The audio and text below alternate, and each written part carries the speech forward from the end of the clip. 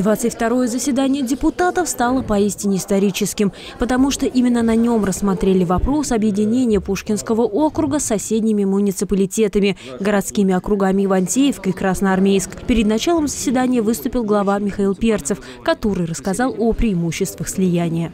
Первый – это увеличение территории. Генеральный план нового муниципального образования определит новые территориальные границы, увеличив площадь почти полтора раза а также даст импульс развитию территории, усилив устойчивую городскую систему расселения Пушкинского городского округа двумя городами с развитой инженерной, транспортной, социальной и хозяйственной инфраструктурами. Появится возможность перераспределять нагрузки в социально значимых вопросах, в том числе в обеспечении местами дошкольных и школьных образовательных учреждениях. Данная реформа позволит осуществлять грамотное, сбалансированное социально-экономическое развитие новой территории. Депутат Виктор Лисин перед голосованием предложил внести корректировки, чтобы центром округа был Пушкинский, такое же должно быть название. Также необходимо разрешить вопрос с транспортной доступностью на Ярославском шоссе.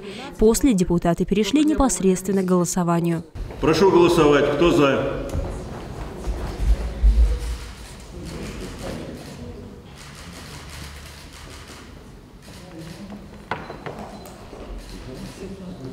Единогласно.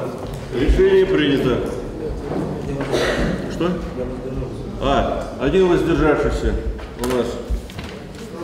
Им оказался Александр Воробьев, депутат самовыдвиженец. Остальные 22 человека за, двоих слуг народа не было на заседании. Теперь дело за публичными слушаниями. Они пройдут 12 октября с 15 до 17 часов в 31 кабинете в здании администрации округа. Анастасия Спирина, Александр Девкин, Яков Глейзер, Пушкинское телевидение.